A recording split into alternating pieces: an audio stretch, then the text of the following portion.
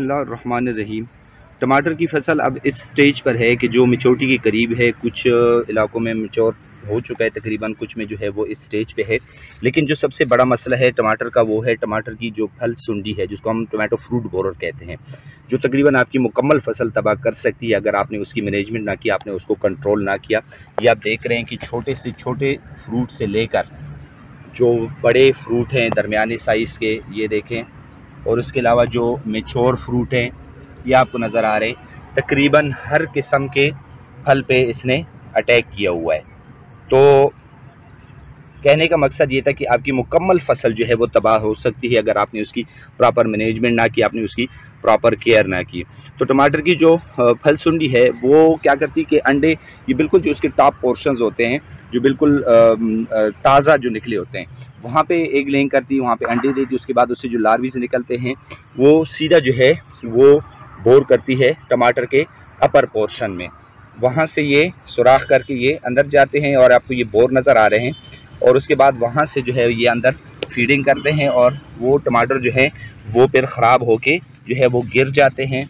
आपको अगर मैं दिखा सकूँ यहाँ पे कुछ टमाटर जो हैं वो बिल्कुल इफ़ेक्ट होके नीचे गिरे हुए हैं ज़मीन पे। वो ऑलरेडी इन्फेक्टेड टमाटर है।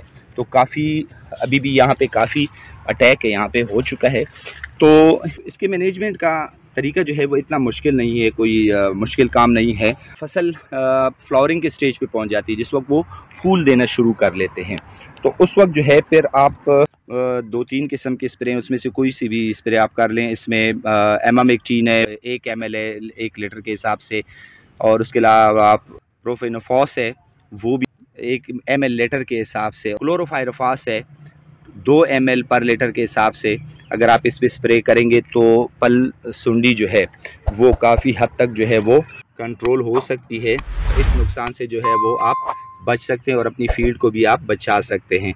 और उसके अलावा जब इस वक्त फ्लावरिंग स्टेज पे होती है तो आपने अगर उसका अटैक चेक करना है कि उसके एडल्ट या उसके पतेंगे जो है वो फ़ील्ड में आना शुरू हो गए नहीं तो आप तकरीबन 20 फंदे जो हैं फेरामोन ट्रैप्स जिसको हम कहते हैं, वो फ़ी एकड़ के हिसाब से आप फ़ील्ड में लगा लें 20 फंदे फ़ी एकड़ के हिसाब से तो आपको उसके अटैक का टाइम जो है वो अंदाज़ा हो जाएगा कि किस वक्त से ये शुरू हो सकता है। उसके बाद फिर आप अपनी स्प्रे का प्रोग्राम मैनेजमेंट प्रोग्राम जो है, फिर आप वो शुरू कर सकते हैं।